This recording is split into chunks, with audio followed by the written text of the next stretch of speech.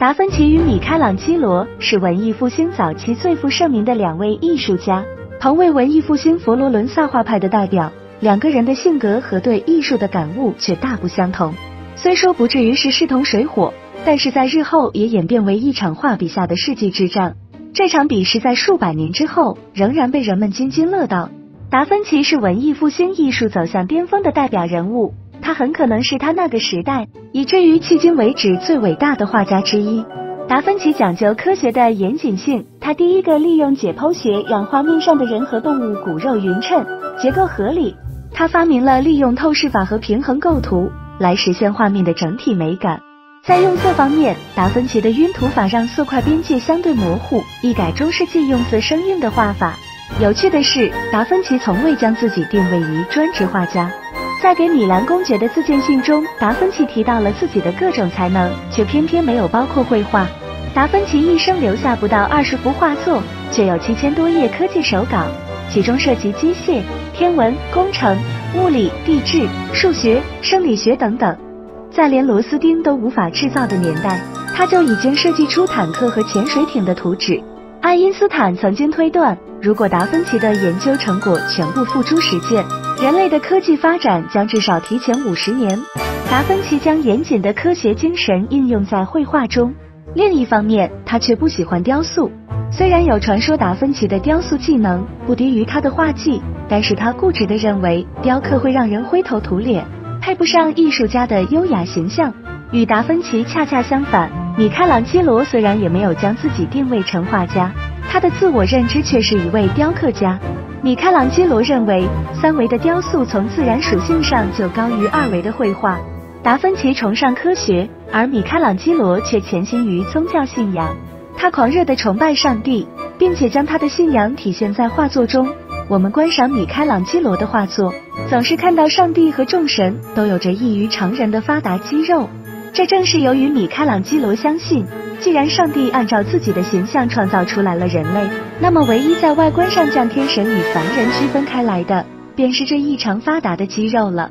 这种形象在被他应用在传世之作雕塑大卫上，而恰恰就是这一尊大卫雕像，让米开朗基罗与达芬奇彻底结下了梁子。在大卫完成后，佛罗伦萨市政委员会专门讨论如何安置这一尊雕像，而身为委员之一的达芬奇则认为裸体形象有伤风化。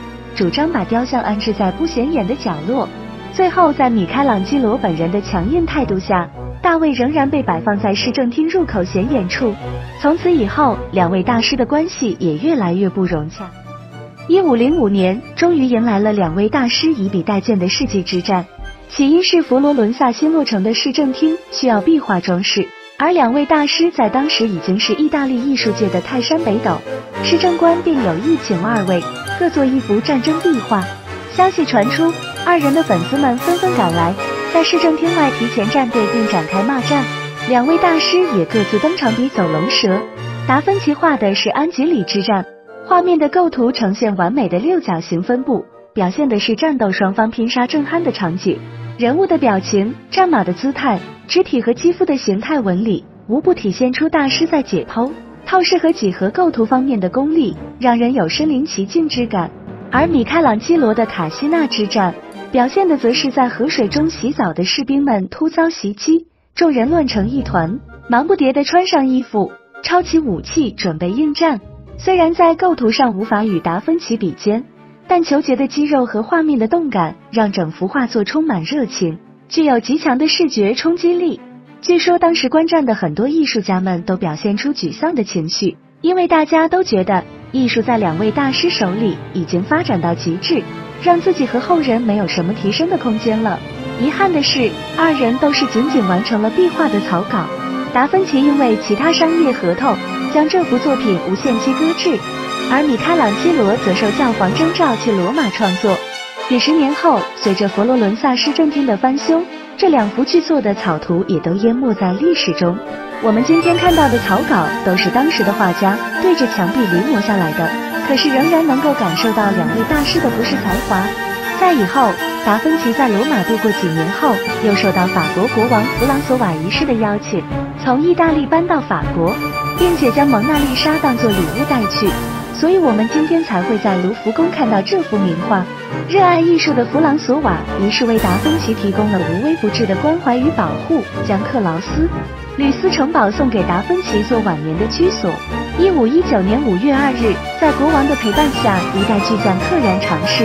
与此同时，比达芬奇年轻二十二岁的米开朗基罗成了教皇最赏识的御用画师，花四年的时间在西斯廷教堂创作了天顶壁画《创世纪》。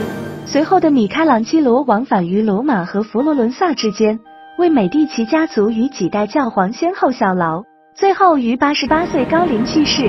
其实，达芬奇与米开朗基罗同样是文艺复兴北方画派的代表人物。达芬奇尊重科学，米开朗基罗信仰宗教。达芬奇严谨理性，米开朗基罗充满激情。正是二人的对立统一，让文艺复兴的绘画水平大幅提高。最后由拉斐尔及二人之大成，形成文艺复兴三杰鼎立的局面。西方艺术五百年系列是好猫从事艺术学习与创作过程中的随感与总结。如果您喜欢我们的内容，敬请点赞关注，以表达对我们工作的支持。好了，今天的内容就到这里，谢谢大家的观看，咱们下期再见。